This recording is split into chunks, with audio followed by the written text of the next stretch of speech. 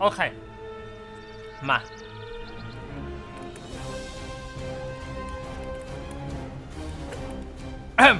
โอเค เอาเลยครับ สวัสดีนะครับท่านผู้ชมทุกท่านนะครับพวกผมนะครับ กับจิวไทยจิเหมือนเดิมนะครับ อันนี้จะเป็นอ่าวันนี้เราจะมารีวิวอบิ t วอ l เกอร์กันก่อนที่มันจะเปลี่ยนไปเป็นเลเวนนะครับ ก็ ใกล้จะหมด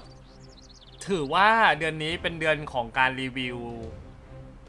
class mastery เพียวเลย เพราะว่า พอหมดจากเดือนนี้ไปเขาคงไปอย่างอื่นแล้ว เพราะว่ารีวิวไปหมดแล้ว คือบางคนมาบอกว่าพี่รีวิวเอ่ออะไรอะธนูบ้างไหมหรือแบบโลลิบ้างหรือเปล่าอะไรเงี้ยผมก็จะบอกว่าผมไม่มีตัวละครนะครับ เออถึงเอออ่าบางทีอาจจะมีนะครับบางตัวมันอย่างอ่าอย่าง Shooting Star เคยมีอยู่ที่ Fox อ่าแล้วก็เซเลน่ามีแล้วก็อ่าสไนมี แต่ว่าพวกนี้เนี่ยเลเวลมันก็นะ แล้วผมไม่ค่อยมีเวลาเวลาช่วงนี้ก็คิดว่าน่าจะหมดการรีวิวที่เป็นอาชีพสุดท้ายเป็นของ Art c r e a t i c นะครับก็จะถือว่าครบอาชีพที่เป็นเพศผู้ทั้งหมดนะครับ โอเค ส่วนอ่าที่เหลือเนี่ยคิดว่าไม่น่าจะได้ทำนะครับ เพราะว่าถ้าให้มานั่งรีวิวทุกคลาสนี่ก็หนักอยู่ หนักอยู่นะครับ คือผมก็รีวิวเฉพาะตัวที่ผมเล่นนะนะ โอเค มาอ้อถ้าเกิดว่าใครมี character อยากเอามาให้ผมทำคลิปก็ก็ได้นะครับ แล้วแต่ แต่คิดว่าคงไม่มี คิดว่าคงจะไม่มี โอเคมาเราเข้าเรื่องของ Abyss Walker กันเลยดีกว่านะครับ ผมจะไม่พูดถึงสกิลอื่นนอกจาก class mastery ละกันเนาะ เพราะว่ามันเหมือนเดิม คิดว่าน่าจะเหมือนเดิมนะครับ class mastery ระดับ 3 ของ Abyss Walker เนี่ย อันนี้ก็คือการใช้ Speedy Cut นะครับ แล้วเราสามารถใช้ Plasma Burst ต่อได้เลยนะครับสปีด y คั t เนี่ยไอแท็กอะจะเพิ่มขึ้น 600%นะครับ แล้วก็พลาสมาเบิร์ด เพิ่มขึ้น 10%นะอะทีนี้เนี่ยสปีด y คั t เนี่ยอัพด้วย19เนี่ยมัน 200 ถูกปะ200 มันเพิ่ม 600เท่ากับว่าฮิตหนึ่งเราโดนเท่าไหร่ 800%นะครับ แต่มันดีตรงที่ว่ามันเก็บได้ 2 มันเก็บเก็บได้ 2 สแต็กคือสามารถใช้ได้ 3 ครั้งนะครับ คือดีตรงนี้ วิธีใช้นี่ก็คือใช้ Speedy Cut ต่อด้วย Plasma Burst นะครับ ไม่ยากนะครับ Plasma Burst อ่า ถ้าเกิดว่าคนเล่นอ b บิ b บ a l เกอร์มาจะรู้ว่ามันแรง อะ เนี่ยเปรียบเป็นอย่างนี้ LE ไกลไกลขึ้นไกลไกลอยู่นะ ก็คือน่าจะ 5 เมตร น่าจะ 5 เมตรเหมือนกันนะครับ เดี๋ยวผมลองลองเทส LE ก่อน อ่า ประมาณวงในนะครับ ถ้าลองสังเกตจากในแมปตำแหน่งที่ผมยืนอะ เนี่ย เนี่ยนะครับ โดน นะอะไรประมาณนั้นนะครับ โอเค ทีนี้ต่อเราจะใช้ Speedy Cut ต่อด้วย Plasma Burst นะครับ จะเป็นเยี่ยงไรนะครับ ก็จะเป็นเยี่ยงนี้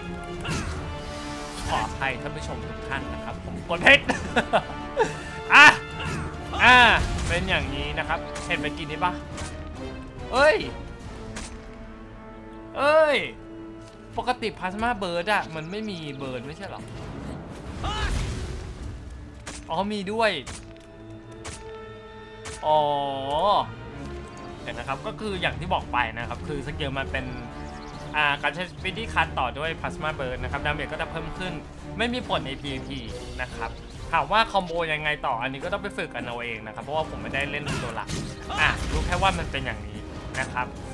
ไอ้ถ้าพลาสมาเบิร์ดนี่ไกลแค่ไหนนะครับ สมมติว่าผมอยู่นี่ 5 เมตรอะมากกว่า 5 เมตร มันไกลแค่ไหนสมมติว่าผมอยู่อยู่สุดแมปเลยอะเอ๊ก็เหมือนจะได้ 5 เมตรเหมือนกันนะครับ คือไม่ได้ไกล อะ ได้แค่วงในนะครับเนี่ยอันนี้โดน ถ้าไกลกว่านี้นิดนึงอะก็จะไม่โดนละอะก็ยังโดน ที่มันโดนเพราะว่าเราใช้ Speedy Cut ไง มันเลยเดินเข้าไปข้างหน้า อะ ก็ยังได้อยู่นะ เอาเป็นว่าระยะมันไกลพอสมควรเลยนะครับ กับที่พุ่งเข้าไปเนี่ยอะ น่าจะเท่ากันเลยนะ อะ นะครับ อะไรประมาณนั้นคือถามว่ามันดีไหมผมว่ามันดีนะ เพราะว่ามันมันจบไวขึ้นหรือปะอะ โอเค ก็อะไรประมาณนี้นะครับกับAbyss Walker อบจังเลยท่านี้เนี่ย มันแรงนะ มันแรงนะ โอเค ก็ประมาณนั้นนะครับกับรีวิวของ a b i t Walker ดูเหมือนว่ามันไม่ค่อยมีอะไรนะครับ เพราะว่าก็นั่นแหละรีวิว skill เดียวมันจะเอาอะไรเยอะแยะขนาดนั้นนะครับ สรุปเลยสรุปนะครับ ก็คือใช้ Speedy Cut ต่อด้วย Plasma Burst ท่านี้นะครับ ได้รับ Speedy Card ดาเมจเพิ่มขึ้น 600 นะครับ แล้วก็ Plasma Burst ได้รับ damage เพิ่มขึ้น 10%อะ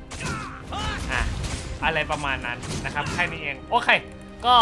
เดี๋ยวเราเจอกันใหม่ในคลิปหน้าที่เป็นคลิปรีวิว Raven นะครับแล้วก็ต่อด้วย Artillery ที่เป็นอาชีพสุดท้ายของการรีวิวนะครับพาเป็นซีรีส์สามโอเค ก็เดี๋ยวเจอกันใหม่ใน part หน้า part นี้ไว้แค่นี้ก่อนแล้วกันนะครับ สวัสดีครับบ๊ายบาย อย่าลืมนะครับเหมือนเดิม ถ้าเกิดว่าใครมีคำถามก็